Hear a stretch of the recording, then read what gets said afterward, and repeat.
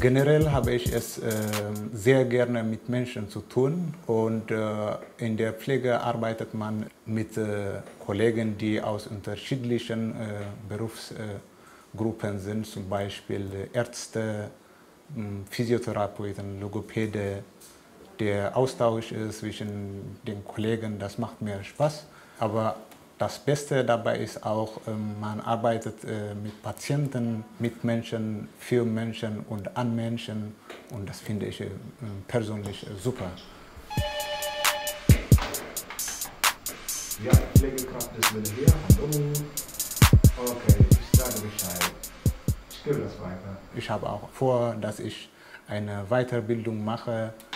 Ich bin hier auf der Intensivstation seit äh, mehr als einem Jahr.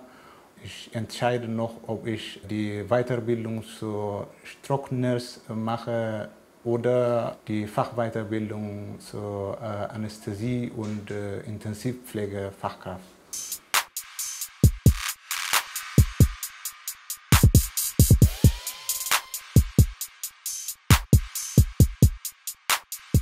Das Besondere im Pflegeberuf ist, wenn der Patient am Ende Danke sagt, das gibt mir innerlich äh, viel Kraft.